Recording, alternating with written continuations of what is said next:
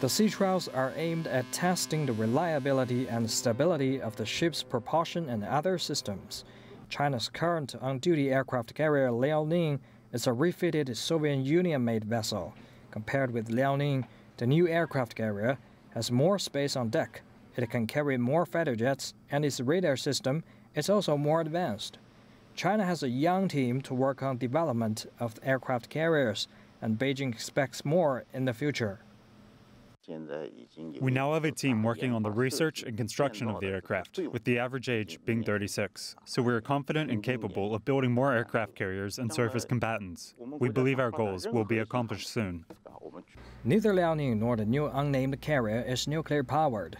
China has devoted more spending for its military in recent years. This comes as we have seen an increased U.S. Navy presence in the South China Sea and escalating tensions across the Taiwan Straits. Beijing says its military policy is defensive and plans to develop more advanced weapons to protect its territory. The new aircraft carrier is expected to be formally commissioned by 2020.